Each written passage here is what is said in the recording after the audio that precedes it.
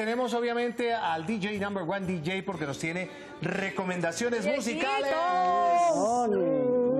¿Y qué pasó con la alzadita del niño Dios? Eh, hoy no hay alzadita. Que como es Navidad estoy más pesadito. ha comido más, imagínense, comido- nueve, bueno, es ocho que- novenas, con hoy son nueve novenas. Sí, el gorrito de Navidad queda muy bien, pero bien, sí. ¿Qué tal mi Y obsequio? yo le voy a ayudar a que se engorde un poquito más. Claro, fui. Porque traje unos postrecitos. ¿De una Uy, vez? uy, uy, ¿De uy, una uy. vez? Bueno, Diego, bienvenido. ¿Qué tenemos? Muchas gracias, Feliz maestro. Navidad Muchas gracias, ¿no? Hernán. También También. para todos los suyos. Bueno, Hernán, hoy venimos con música de Navidad. Vamos a recorrer como todas las etapas. Vámonos con la canción típica de la década de los 70, uno de los artistas más importantes de Puerto Rico. Hablamos de José Feliciano. Él él es invidente, pero maneja y domina a la perfección más de 18 instrumentos musicales. Qué bárbaro, ¿ah? Es todo un genio de la música y esta canción que se llama así, Feliz Navidad. Navidad. Feliz Navidad. Feliz Navidad. Próspero año y felicidad.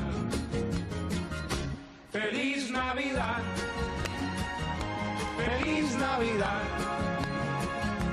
Feliz Navidad. Próspero año y felicidad. En inglés. En inglés. I wanna wish you a Merry Christmas. I wanna wish you a Merry Christmas. I wanna wish you a Merry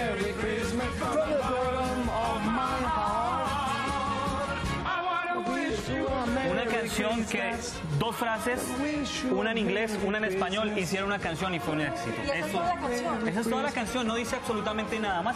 Sin embargo, es una de las canciones más representativas de la Navidad. La Navidad para algunas personas es muy alegre Sí. y para otras es muy triste. Vamos a dar Todos que son No. Exacto. Vamos a irnos con dos canciones que son la parte trágica de la música navideña. Primero vámonos con el maestro, el rey del despecho, Darío Gómez. Él tiene una canción que dice que quien inventó la Navidad no estaba solo. Y nos trae esta canción que se llama Esta Navidad no es mía. Aquí el maestro Darío Gómez, el rey del despecho. estaba solo y mucho menos en momentos de tristeza, porque no contarían con los afligidos para que en diciembre olvidaran sus penas. Comprendan que la Navidad es una fiesta donde la gente está llena de alegría. En cambio yo solo estoy lleno de tristeza y por eso esta Navidad no es mía.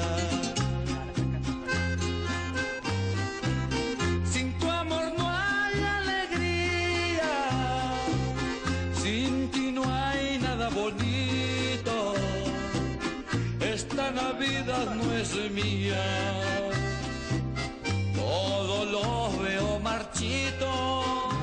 Para Darío- mí esta música es anulante. No, no, no, Sí. no, a mí, no, no, personalmente, no me gusta. Hay gente que la Navidad es una, e- una época que le suscita de pronto muchísima tristeza y esta música le sirve como para desahogar ese No, y- despecho. Para y echarle esto- y- limón a la llaguita, Y sobre todo cuando han seco, perdido. como oyendo esta canción, qué cosa tan Cuando perdí algún familiar, un ser querido, un amigo, o de pronto preciso le termina el novio en esa ¿Qué época. tal? A mí me pasó una vez. No. Pero yo no escucho ese tipo de música, a mí me gusta estar Y, contenta. oye, ¿te terminó por qué o qué? No.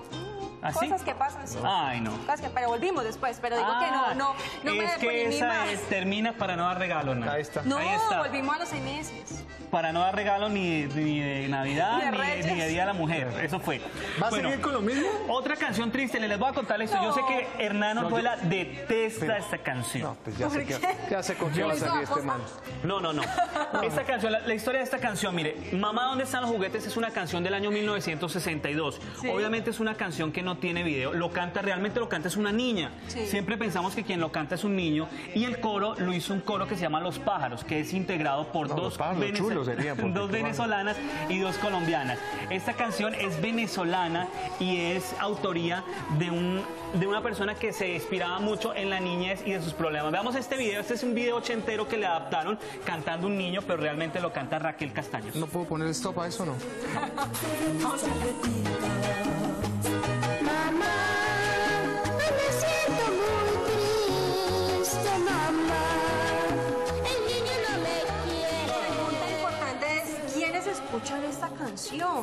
No. Pues en mi todo el en mundo realidad, está, no, esto, es suena, o sea, uno pone, uno pone cualquier emisora de música popular Ay, y no, y esa canción sí. suena cualquier cantidad de veces. Como les Eh, decía, Raquel Diego, Castaño, señor. Acaba de llegar la fiscalía, están buscándolo. No, a mí no me gusta. Yo sé, pero ya me va a No le reivindicar. tutela a esta canción. Claro, no, pero, pero vea que ya me va a re- reivindicar. Pero rapidito, papá. Rapidísimo. Les cuento, quien la niña que cantaba esa canción, pues ya en la actualidad de tener más de 60 años. porque Y, la es ahora cómo 62. canta, abuelita, ¿dónde están los juguetes? No, Después, puede de, después de Mamá. ¿dónde están los juguetes? Ella grabó más de 30 LPs. no ¿En eso no la serio? salva. Pero fueron así éxito como esta Condenada de canción. por vida No, mujer. cuando ella era niña, eh, iban a hacer, como la canción fue un éxito de la disquera Discomoda de Venezuela, la invitaron a un programa de televisión para hacer como la representación. ¿Y entonces Cuenta la anécdota que no tuvieron en cuenta los zapatos y entonces lo que hicieron fue coger los zapatos de ella y los rompieron para que se viera pues una Claro, niña pobre. Y cambiaron la versión. Mamá, ¿dónde, están los zapatos? Mamá, ¿dónde Bueno, están pero los zapatos? vamos a darle vuelta a la música y nos vamos a ir con una canción Por favor, la que en el principio, vean, me voy a reivindicar, Hernán. Por favor. Dale pues. En el principio fue considerada como un himno o fue escrita por John Lennon y Yoko Ono, una canción en contra la guerra del Vietnam. Esa canción se llama Happy Christmas, Happy Christmas. War is Over. Aquí está John Lennon y Yoko Ono con esta canción. Es así. ¿Es así? And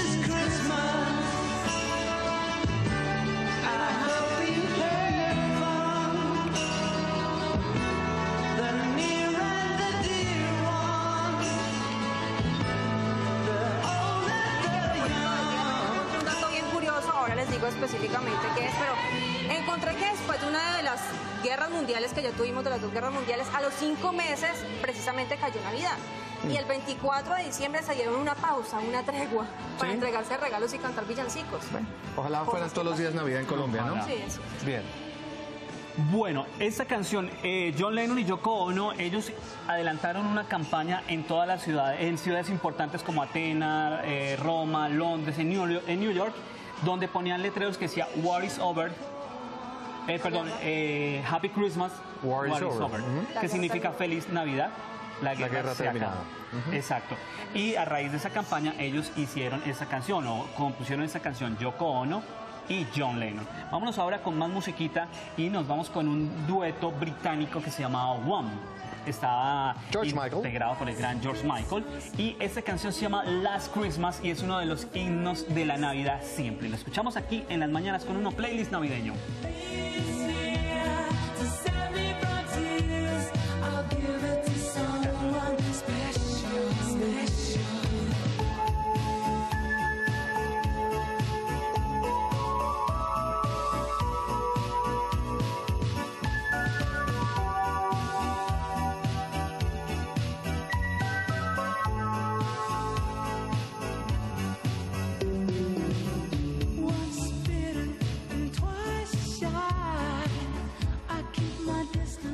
Esta canción tiene un sonido pues eh, muy ochentero y no es tan nostálgico, pero realmente la letra es nostálgica porque ahí el cantante dice, la última Navidad te di mi corazón y lo destrozaste.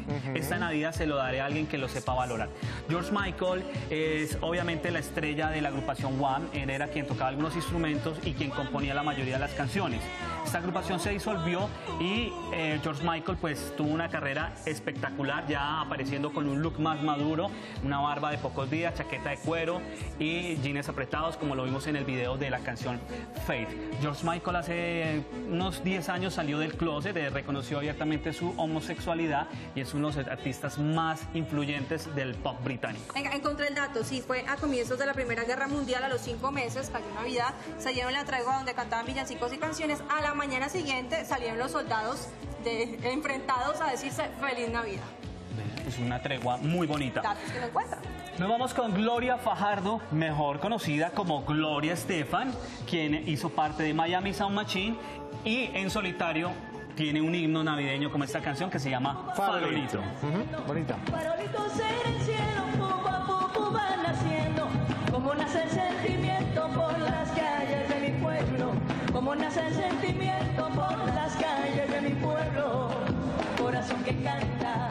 Bonitas canciones de Gloria Estefan ya en su etapa de solista, ¿no? Sí. Su etapa de solista, ese es un video, una presentación que hizo acá en Colombia para un reinado de la belleza en el año 1995. Ahí nuestra querida Gloria Estefan. Y esta canción que suena muy bien en Navidad, tiene un sonido navideño. Y pues qué bien recordarla aquí porque ya vamos subiendo. Ya pasamos por la etapa triste y les prometo que No ya vamos a ir subiendo. Ya no. ¿dónde están Vamos a ir, como dice alguien, increciendo. Ok. Eso, comenzamos bien increciendo entonces. Increciendo. Vámonos ahora con una agrupación que se llama Los 50 de Joselito. Ajá. Les voy a contar la historia de por qué se llaman Los 50 de Joselito. ¿Por qué? Ellos, eh, su primer álbum fue que fue un éxito, era con las canciones de Guillermo Buitrago. Ellos se fundaron o se crearon en el año 1998, cuando Buitraguito cumplía 50 años de haber fallecido. Entonces, la canción principal de ese álbum decía Ay Joselito. Ah. Entonces, 50 años de la muerte de, de Buitraguito. Y Joselito, que decía entonces los 50 de Joselito, además porque es música de la década de los 50. Sí. Entonces por esa razón se llaman los 50 de 50 por Joselito. Aquí están una de sus, de, de sus formaciones originales con esto que se llama El pájaro amarillo. que me diste que se perdió en la llanura. Lleva, lleva en su piquito el besito que me diste que se perdió en la llanura. Pasó volando y no ha cantado, que lleva el pico apretado, pajarito de baby.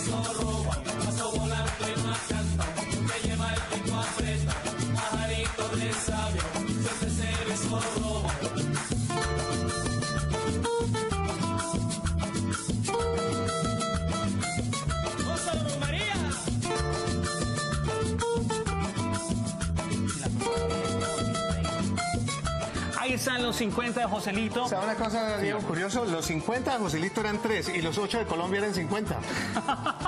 una cosa increíble en este país, ¿se han dado cuenta? Se droga. ¿De qué año es esta canción, Dieguito? Más o menos. No tengo presente este año, pero es 80, debe- no, 90. no, no, no, no. Eh, lo- este pájaro amarillo, pues la versión original sí No, es el pájaro amarillo sí es bien viejo. Eso, sí es de, eso es de toda la vida. Pero la versión esta nueva- versión de ellos es más o menos del año 2001, si no estoy mal. Sí, porque el pájaro amarillo es viejo. ¿Sí? que eso es- Está viejo ese Oh, Eso es de toda la vida, eso es más viejo que mamá, ¿dónde están los juguetes? Y eso ya es mucho decir, esa canción cumplió 50 años en el 2002. Pero usted insiste con su mamá. No, no, no, no, no. no. ¿dónde están Vea, vámonos, vámonos con rumba y aquí es donde nos damos cuenta cómo es la hermandad colombo-venezolana, porque mucha de nuestra música navideña está ligada a Venezuela y viceversa. Esta canción que se llama Parranda de Navidad, lo hace una artista que se llama Tania de Venezuela y tristemente, Ayer. como dice el dicho, nadie es profeta en su tierra. Esta artista es un hit o tuvo gran recordación y gran reconocimiento en la costa caribe, más no en su Venezuela natal. Sí, así pasa, pasa Escuchemos mucho. Parranda de Navidad de Tania de Venezuela.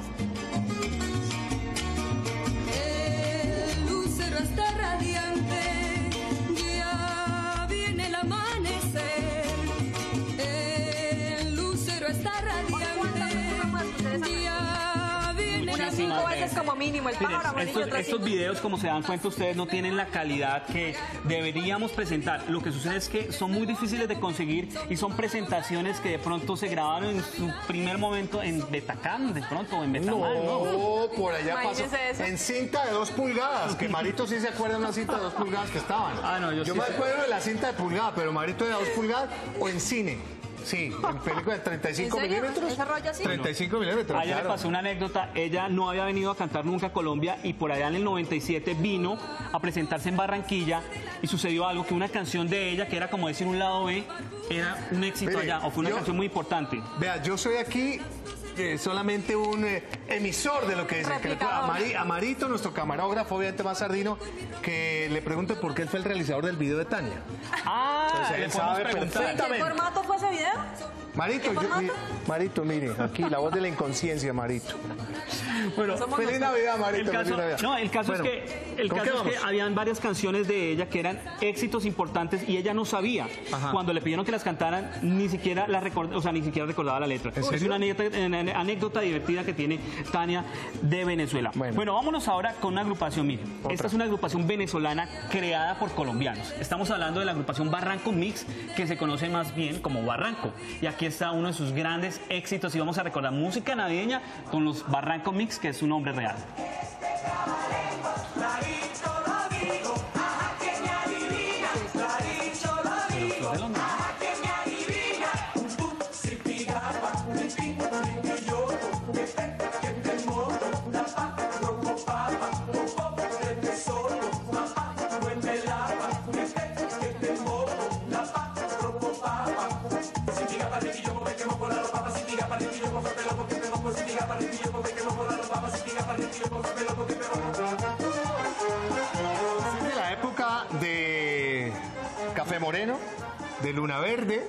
De todos estos grupos que aquí en Colombia se gestaron que eran Claro. de música. Claro, y lo que pasa es que había una necesidad porque en esa época de los noventas había mucho grupo rockero, había mucho grupo de pop, pero no había un grupo que rescatara de pronto ese sonido Mm. de fin de año tropical y por eso eh, músicos colombianos en Venezuela crearon esta agrupación Barranco. Muy bien.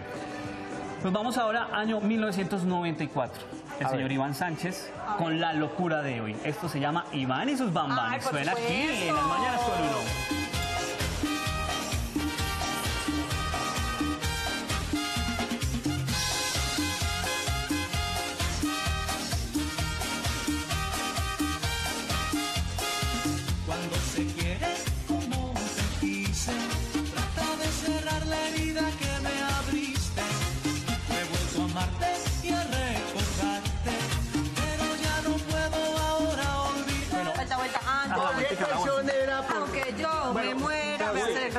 Este me Este, enreda. es, este es Diego y sus pum pum. Pues hay una diferencia entre Iván y Iván Mama.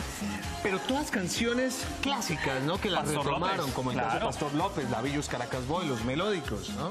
Claro que sí, les voy a contar una anécdota particular con esta canción. Cuando estaba de moda esta canción, yo era DJ de un sitio exclusivamente de salsa. Ajá. Puro zapato blanco y Ajá. todo eso, pura salsa. Pura sandunguera.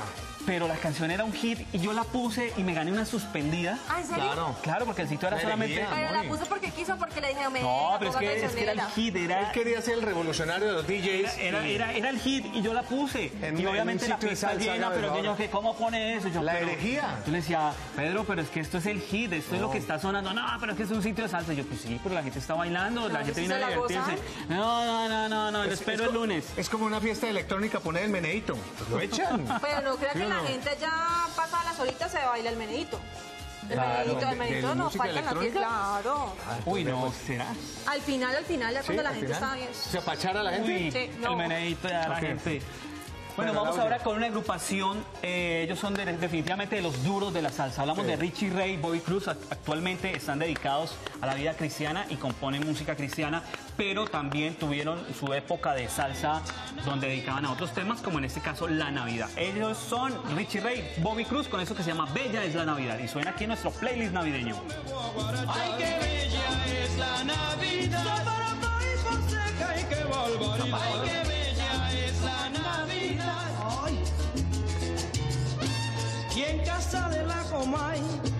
vamos a hacer una fiesta.